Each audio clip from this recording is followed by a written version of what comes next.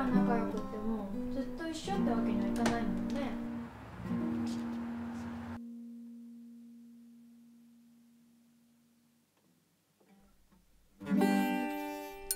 姉さんさ俺に嘘ついてることあるでしょ？結婚するとか？俺らずっと二人で。分かったようなこと言うなよ。普通じゃないんだよ。ねえあんた一体どうしたいの？姉さんと離れたくない。千吉さんはさ忘れられるの？お姉さんのこと